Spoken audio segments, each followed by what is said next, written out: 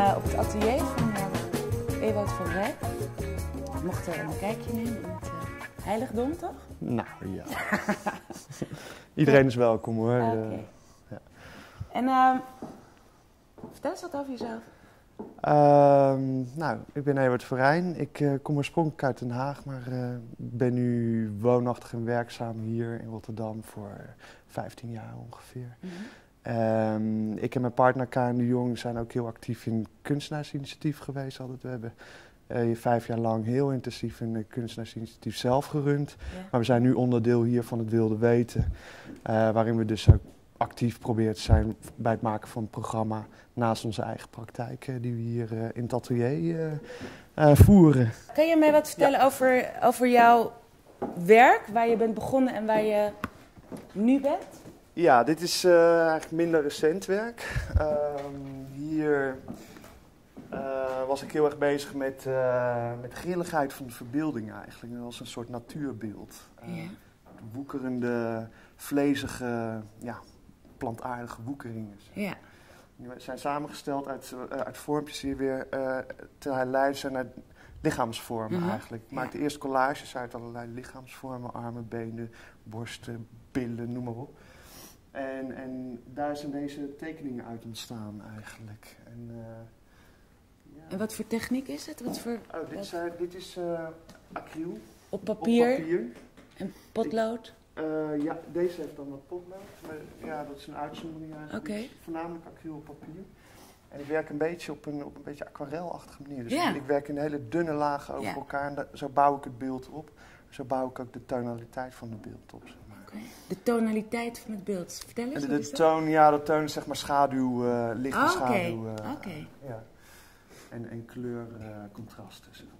Dus Ja? dit is oud werk? Ja, en, en eh, daarna toen is het de, boeg, de boeg eigenlijk vrij rigoureus omgegaan. Want waar ik hier in een soort collageachtige manier werkte, ook met een collageachtige oorsprong in het tekenen zelf, Ja. ben ik eigenlijk in het werk wat daarna kwam echt gaan tekenen weer. En eh, helemaal vanuit eh, de fantasie. En eh, de, de eerste tekening die daaruit ontstond was deze. En daar is een hele serie bruin sepia monochroom werk uit ontstaan. Mhm. En dat is een op zichzelf staand eh, serie geworden, die eigenlijk inging op het idee van het einde van de kunst, het einde van de schilderkunst. Zo. En daar is een hele beeldende mythe omheen gesponnen eigenlijk. En, Door eh, jou? Of- ja, of- ja. Dus het einde van de kunst. Het Je- einde van de kunst. En daar, daar figureert dan eh, een kunstenaar in, een zo- een soort zombie-achtige figuur. Eh, de dode kunstenaar, dus eigenlijk die nog levend is ergens ook en ronddwaalt. Is dat en- een thema bij jou? Dat Ja, is jouw, jouw ja. leidmotief bijna? Dat was in die serie het leidmotief, was. ja. En, en eindigheid en tij- tijdelijkheid en tijd en zo, dat is wel een, een, een eh, doorlopend thema. En het werk waar je nu mee bezig bent, kan je daar...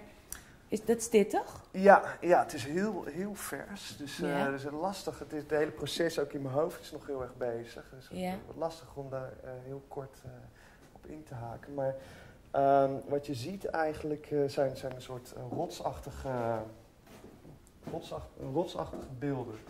Ehm, die zijn van goud.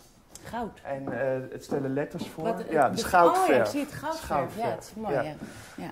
Ehm, en zoals ik net al zei, eh, mijn, tijd, eh, mijn werk gaat vaak over tijd. Mhm. En het, de eindigheid van de tijd. En ehm, het einde van de cultuur en zo. En als, je, als je denkt aan, aan die grote stenen van Stonehenge, Ja, megalieten.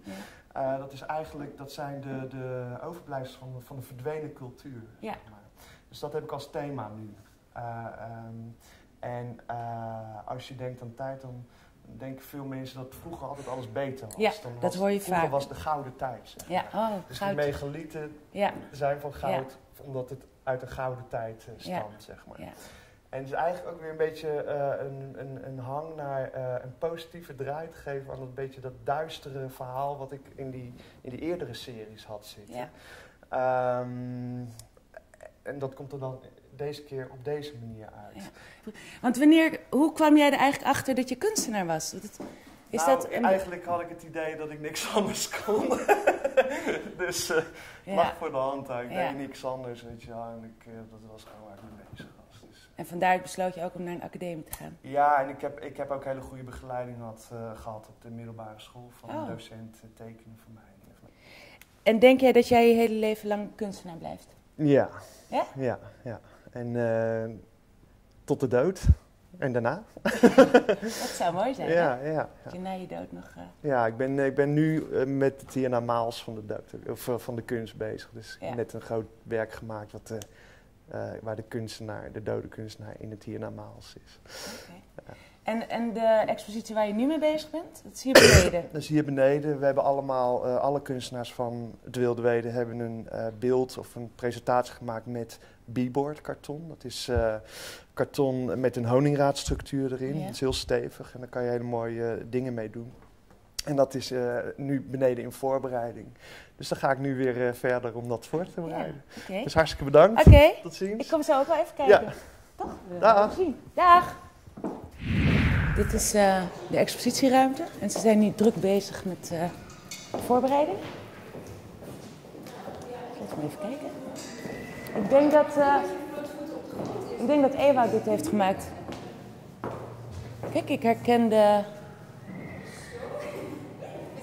de goudverf en de Stonehenge stenen. Kijk dat.